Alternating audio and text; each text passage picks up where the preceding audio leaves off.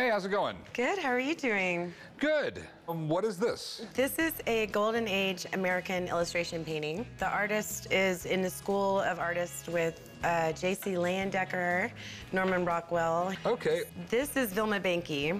She is a silent film star, and that was Ronald Colman. And this is a 1927 film called Two Lovers. She's obviously not going good because she doesn't look interested whatsoever. She's only mildly amused.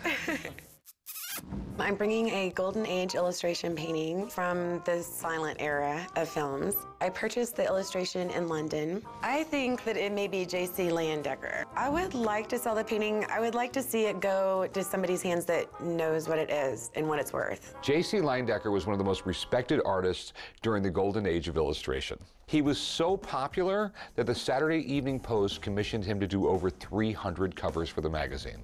Some of his work has sold for over six figures. How much did you want to get out of it? Um, I was asking 7,300. Okay. Do you mind if I have someone look at it? I would like that, actually. I think that would be a good idea. If there's money to be made, I'm more than interested. Okay? You All got right. it. Okay, let me look here. I don't see any sort of monograms or signatures. The, uh, the paper is very much the kind of paper they would have used back in the 20s. So the period, I think the vintage is there. Uh, the one thing I will say is there are some Leyendecker trademarks that I see in the work. One of the things that he used to do is a thing, a technique called hatching. What he learned was to do the shading by doing uh, lines of color that kind of cross the composition. You can see him here in his back, you can see him here in the foreground. Right. So I do see some of his trademarks there. Okay. So do you think it's Leyendecker or there?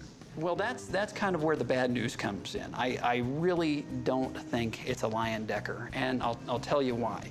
One, he was probably the most imitated uh, graphic artist, illustrator of the early 20th century. Secondly, he hated working from photographs. He would only work from live models. So he would not have worked from a photograph of a still of a movie. So what do you think it's worth? I think the, the best you could hope to get with the conditional elements and the lack of provenance is maybe a thousand, two thousand dollars, somewhere in that window, I think. I'm Thanks, sorry. Rick, hey, my pleasure. I wish, I Thank wish I had better news. It's nice to meet you. It's nice to meet you too. It's a beautiful work. Well, so obviously the whole $7,300 isn't going to happen, at least not for me. The thing is, when you have expensive art, you know, when people buy it, they want to know damn sure where it came from and everything else, and you just don't have it here. But good luck with it. Um, hey, get it framed up, hang it on the wall. It's pretty I cool. probably will, actually. Thanks for bringing it in. Thank you. All right. Bye. Mr. Brown and I got along famously.